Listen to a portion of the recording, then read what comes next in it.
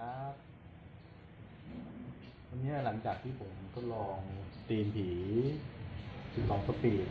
กับเฟือง 1150 เพื่อแก้ปัญหาเรนจ์ของตีนผีครับเวลาเวลาขึ้นเกียร์เฟือง 50 เนี่ย จะเรนไม่พอสำหรับตีนผี GX เดิมนะครับ เนี่ยมันมันมันจะสั้นกว่า ก็ จากที่แล้วผมวัดให้ดูแล้วว่าเป็นไงแล้วก็ใช้นี่ให้ดูอะนี่มีอีกอีกอาทางออกหนึ่งครับที่ถูกกว่าเปลี่ยนดินผีครับ ถ้าใครใช้ GX แล้วไป1150 นี่เลยครับรถลิงก์ฮะ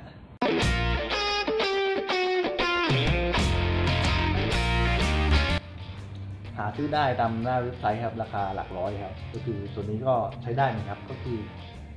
ลองแล้วจบ แต่พอดีไม่ได้ถ่ายไว้ตอนที่ลองครับก็เลยมาใช้ทีมตัวนี้ก็ happy ก็เลยใช้ยาว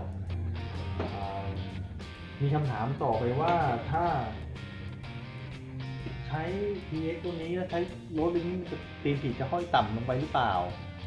ผมบอกได้เลยครับ ถ้าเทียบกันระหว่างใช้ GX 11 18ซึ่งขามันสั้นนะฮะต่อ RoadLink ลงมาประมาณ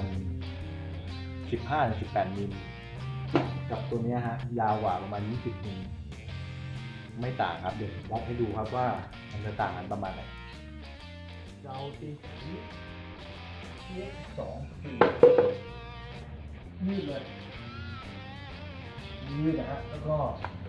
ให้ดูระยะครับนี่คือยืดนี่ยาวกว่ายาวกว่าจุดที่เราใช้งานแต่ว่าเอาจุดที่สามเซนนะครับ แล้วก็ อันนี้โอ๊ยมันจะล็อกเหมือนกันครับ ที่ต่อรถลิงก์กับตัวตีนผีนะฮะครับต่อแล้วนี้เรามาวัดนะครับระยะทั้งหมด ผมจะวัดถึงข้างล่างเลยครับโอเคครับเดี๋ยวผมจะวัดจากถึงกลางของรถลิงก์นะฮะถึง สุดของตีนผีเลยครับอ่าได้ ประมาณ 21.5 ครับ 21 21เซนติเมตร21.5 ประมาณนี้ครับคร่าวๆครับ ทีนี้มาดูของตัว GX 12สปีดกันครับว่า วัดแล้ว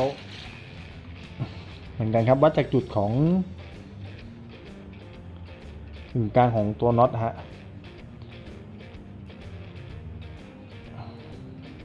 ประมาณยี่สิบสอง ยี่สิบสองเซนครับ ก็คือ ยังถือว่าพอๆกันอยู่ครับ เพราะฉะนั้นาการใช้รถลิงก์กับเจ็กสิบสปีดเพื่อแก้ปัญหาเลนส์ดินผีไม่พอใช้ได้เลยครับ ถูกกว่าสะดวกกว่าประหยัดกว่าครับ แล้วก็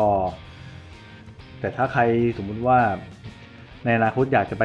12 อยากสะสมอะไรเรื่อยๆก็ซื้อเฉพาะตีนผีมาก่อนครับแล้วค่อยๆขยับขยายไปชิปเตอร์ไปอย่างอื่น เพิ่มทีหลังนะเขาก็สะสมไปเรื่อยๆ แต่ว่า ถ้าใครจบที่1150ก็ลดลิงก์ตัวเดียวครับ จบเลย วันนี้แค่นี้นะครับ สวัสดีครับ